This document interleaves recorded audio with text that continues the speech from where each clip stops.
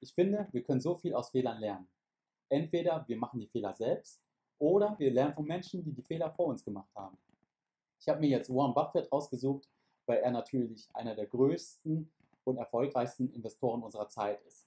Er ist natürlich nicht der einzige und auch nicht fehlerfrei, aber in seinen Sätzen steckt so viel Weisheit und Erfahrung drin, sodass, glaube ich, jeder, der am Anfang steht oder jetzt von diesem ganzen Marktgeschrei etwas verwirrt ist, etwas rausnehmen kann für seine eigenen Investments.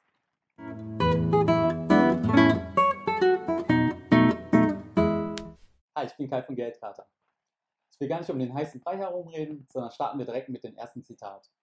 Kaufe eine Aktie, so wie du ein Haus kaufen würdest. Verstehe und schätze es derart, dass du dich damit abseits jeden Marktes damit begnügen würdest.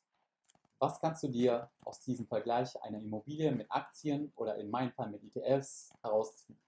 Und zwar hast du dir ja vor dem Investment eine Strategie ausgedacht und weißt ganz genau, wie viel und wie lange du in dieses Investment reinzahlen wirst. Bei einer Immobilie ist es ganz einfach.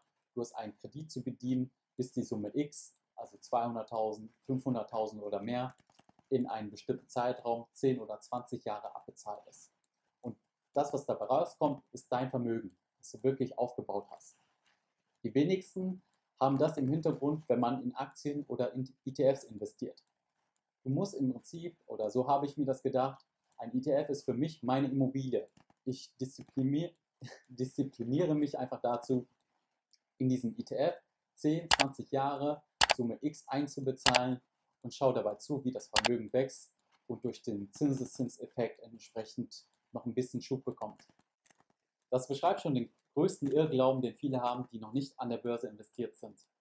Man muss sich nicht tiefergehend mit Unternehmensanalysen befassen und das tagtäglich tun, sondern kann entsprechend einige Quellen, Bücher zu ETFs lesen, um einfach eine durchschnittliche Marktrendite von 6 bis 8 Prozent jährlich mitzunehmen.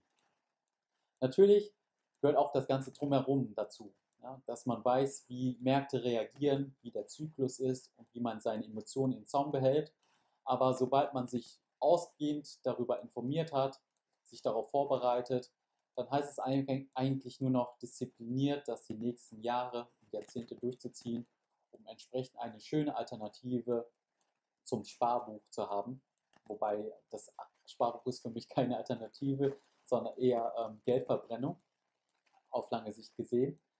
Ja, und wenn man aber mehr haben möchte, mehr Rendite haben möchte, dann ist es natürlich was ganz anderes. Wenn man das nächste Amazon finden möchte, das nächste Apple und sein Vermögen entsprechend verzehnfachen, verhundert oder vertausendfachen möchte, dann muss man sich natürlich ausreichend oder ausgiebig mit Unternehmensanalysen auseinandersetzen und das Ganze ganz anders angehen als so ein ja, Buy-and-Hold-Anleger wie mich, der einfach nur bequem in ein ETF investieren möchte.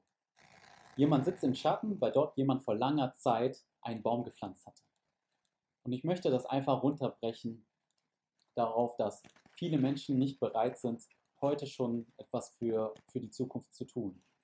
Viele sagen sich, ich möchte heute das Leben genießen und was kümmert mich, was später sein wird.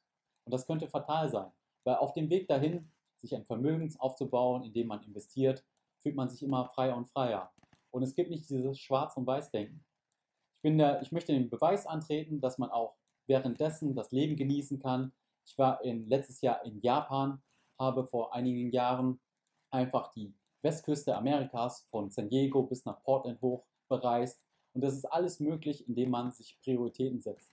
Klar kann man sich nicht sofort alle Wünsche auf einmal erfüllen, aber es ist trotzdem möglich, indem man wirklich vorausplant, geduldig und diszipliniert bleibt, sich ein schönes Leben zu ermöglichen. Wenn der Markt steigt und steigt, sieht jeder wie ein Genie aus. Erst wenn es schlecht läuft, sieht man, wer tatsächlich eine gute langfristige Strategie hat. Und das ist mein großer Appell an dich, wenn du gerade erst anfängst oder noch nicht angefangen hast mit Investments.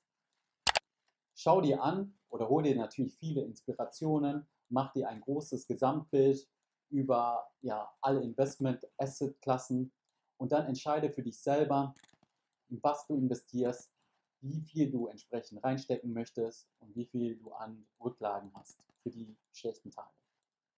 Es ist ungemein wichtig, dass du nicht einfach blind irgendwelchen YouTubern folgst, genauso wie mir, nur weil kurzfristig etwas gut läuft, sondern du musst etwas finden, was zu deiner Situation passt, womit du wirklich jahrzehntelang gut schlafen kannst. Darum geht es letztendlich, weil über die Zeit werden sich all die Investments an der Börse tatsächlich auszahlen, außer du hast, investierst nur in wenige Aktien und erwischst genau die, die Unternehmen, die in so einem Crash untergehen werden. Gucken wir jetzt mal rein. Ja, viel hat sich da nicht getan. Ich habe eine ähm, ja, weiterhin schöne Rendite, die sich um die 10.000 bewegt. Die ist jetzt runter auf 9.000. Die ganze Woche war es so, dass es irgendwo sich zwischen 10.000 und 9.000 bewegt hat. Und wenn ich das Ganze jetzt einfach mal ähm, ja, morgen oder heute verkaufen würde, dann hätte ich doch eine ordentliche Rendite übers Jahr gesehen. Wenn ich jetzt einfach mal 9000 durch 12 Monate teile, da sind das schon 750 Euro, die monatlich reingekommen wären. Was sich nicht schlecht anhört, aber mein persönliches Ziel ist eigentlich eine ganz andere Hausnummer, wenn einfach mal jährlich 90.000 an Rendite reinkommt, dann ja, ist das schon eine ganz andere Nummer und das ist doch ein schönes Ziel, denke ich mal. Ich hoffe, das Ganze hilft dir dabei, motiviert zu bleiben, dass auch die Zitate dabei helfen, deinen Fokus zu halten. Wenn das so ist, hinterlass mir einen Daumen hoch und wenn du weiterhin sehen möchtest, wann ich endlich einen sechsstelligen Betrag im Depot erreiche, dann abonniere meinen Kanal und ansonsten sehen wir uns demnächst wieder. Bleib gesund, alles Gute, dein Kai.